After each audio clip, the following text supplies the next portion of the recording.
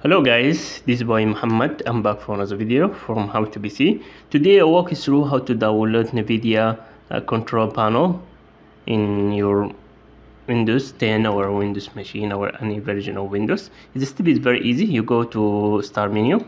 You will see the Microsoft Store or you can type it here in the search field and you wait for a second and you have the search field click NVIDIA